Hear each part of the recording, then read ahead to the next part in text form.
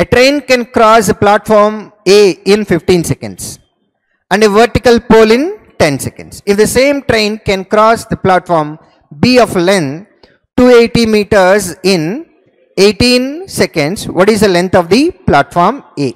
Okay, right. So now, in first case, how much time is it taking? In 15 seconds, how much is the distance covered? Come on. Train length plus platform length. And for that, how much time is it taking? Second case, how much time is it taking? In which it crosses a vertical pole, right? Then what is distance covered? Train length. Next, third case, it is taking 18 seconds, correct? Now, in that, how much is the distance covered? Train length plus platform B, whose length is 280, correct? Now, look at the second case and third case.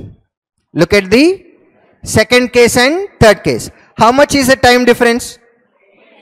Huh? Why there is a difference of 8 seconds time? Because of platform length only? So, in 8 seconds, it is covering 280 meters, correct? To cover train length, how much time is it taking? 10 seconds.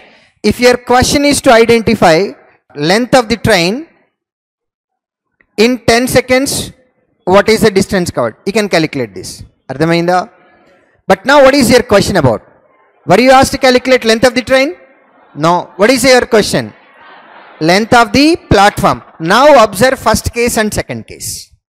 Why there is a difference of 5 seconds? Because of platform A length only.